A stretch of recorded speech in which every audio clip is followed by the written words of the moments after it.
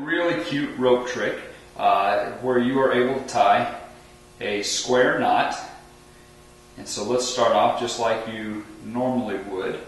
And you know why they call this a square knot? Because it is a square knot. So the square knot trick comes in the standard size or it also comes in a jumbo size square knot.